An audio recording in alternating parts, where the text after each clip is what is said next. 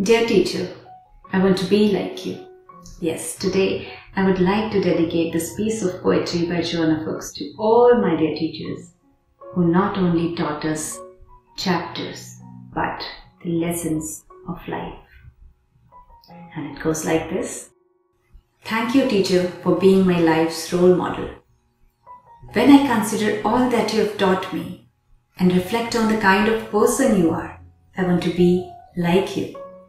Smart, interesting, and engaging. Positive, confident, yet unpretentious. I want to be like you. I want to be like you, dear teacher, well informed and easy to understand. Thinking with your heart as well as your head. Gently nudging us to do our best. With sensitivity and insight.